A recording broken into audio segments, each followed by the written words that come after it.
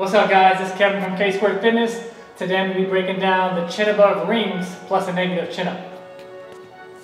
Alright guys, so key points of performance here. We got another chin up and pull up variation.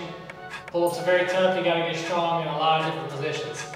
So the rings is a unique way to add more stability into our uh, chin above bar hold, or chin above rings. So whenever you go, you're actually going to turn the ring this way, it's a little better for your shoulder. So I'll get into my hollow body at the top. Hollow body anytime that my toes are together, quads are tight, ribs are down. Notice that I'm, I'm intentionally creating this shape of a hollow body anytime I'm on the bar or the rings, because I'm engaged throughout my entire body. I'm not just pulling down here. Locking down my ribs, my glutes, flexing my quads. So again, I'm all tight through here.